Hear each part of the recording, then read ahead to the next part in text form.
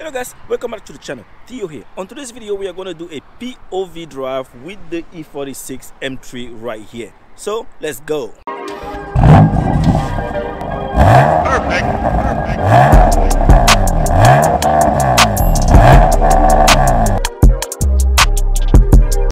If this is the first time you stop by the channel, make sure that you subscribe, hit the notification bell, and also like this video if you like this type of content. Well, right now I am in New Jersey and I came to pick up some parts. Hopefully you don't see them on the back here.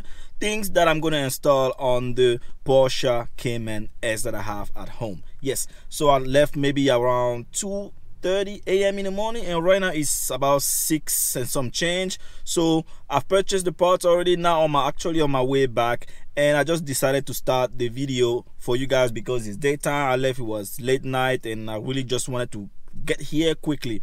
So I had a full tank of gas when I started and I drove about 265 miles and I think I have about a little over a quarter left. So far the drive has been very good. The seats are comfortable but not the best seat. You know, definitely if you want a comfort ride you should get a more comfort car, not like a sport car, but these seats are great. But one thing I have to mention is that the suspension is really, really, really, really firm. Going into bumps, you really feel like you are the track, and it's like juggling you around like this. And that's just because you know I have a firmer suspension. So now let's go and drive back home to Maryland, and let me uh, show you this amazing drive. What do you guys think about this uh, scenery right here? Look at all these rocks. It's very beautiful, man. I just wonder how they cut it off to make the road and, you know, like stack them up like that. What kind of machine does this type of job? I always wonder.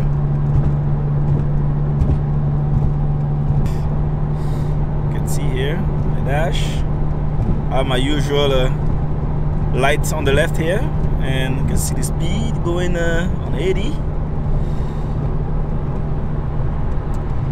nothing to report here. People passing me so you can see I'm not speeding. I'm really trying to enjoy the ride. One thing I'm for sure not used to is coming to a gas station and someone else is pumping my gas. So I got out of the car and the guy was looking at me like okay, what are you doing, sir? And well, he's just here to pump the gas. So, as you can see right there, I am getting gas. I guess I'm staying warm in the car while he's doing his thing. Yep, 4.99 the gallon. Gas prices as high as hell.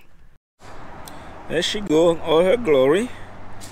Getting juiced up and ready to go. Yes, sir. Miss Historic back on the road. Of course, it started pouring. Actually, the rain slowed down. That's why I decided to film. It was pouring heavily earlier. And yeah, now I feel like I'm gonna drive on the rain all the way back home. We are about halfway to Maryland. I have two hours left. As you can see right here, to get to my location. So let's keep driving. And this is my gas tank after I fill it up almost at three quarter and two hour left to drive 144 miles left. So I made a quick pit stop and now we are back on the road and the sun is out. Yes sir. I am one hour away from the house. Stop sign no one coming there and let's go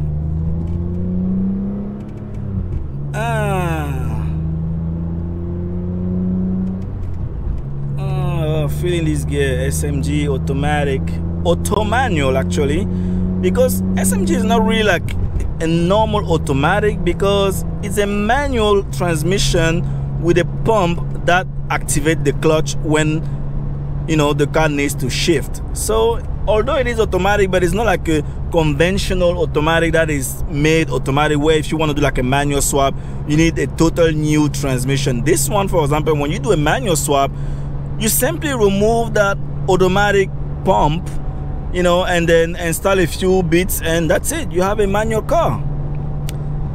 now the question is am i going to convert this car to a manual well probably you know in the future I, I will probably do that because of course this car will be more fun if it is manual than you know automatic the way it is right now you can see 67 miles driving right now and uh, almost half a tank. Probably when I get home I will be half a tank.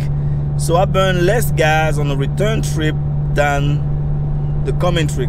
Weird.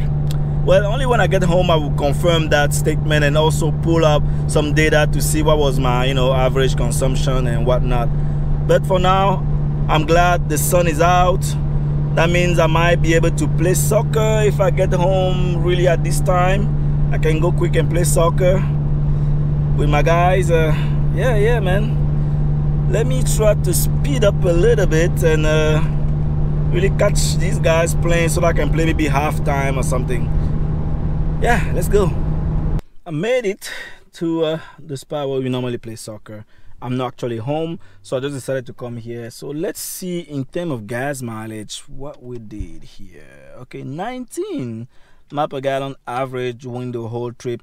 That's probably because um, during the past hours I was really on mode push. I was really driving a little faster than I was before. So probably I did messed up the gas mileage by driving much faster than I was doing before. I was kind of being efficient and I have 191 96 mile left on the tank as you can see it's about half a tank right there I mean this is the full tank that I had when I was leaving New Jersey which is like four hours drive so in total as you can see I drove 497 um, miles this is on I would say it took me probably a tank and a half or something like that because I filled up when I was leaving and then when I got back it was like a quarter left and I filled it up when I was coming back. Now I'm half a tank.